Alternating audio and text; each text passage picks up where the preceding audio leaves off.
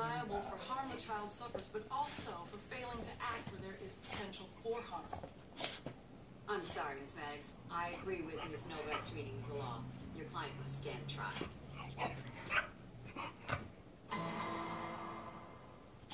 When you called the child abuse hotline the night you said you tried to contact your caseworker, Mary Plummer. How many times? Four times that day. Another three times the week before. Did she ever return any of those calls? No. Why were you calling her? Because I was having a hard time coping with Jamie. What could Mariel have done? If she had called back or visited, she would have seen that Jamie was out of control. And how I was struggling. And none of this would have happened. Thank you. Why not call 911? What do you mean? You said you were scared you couldn't cope with Jamie.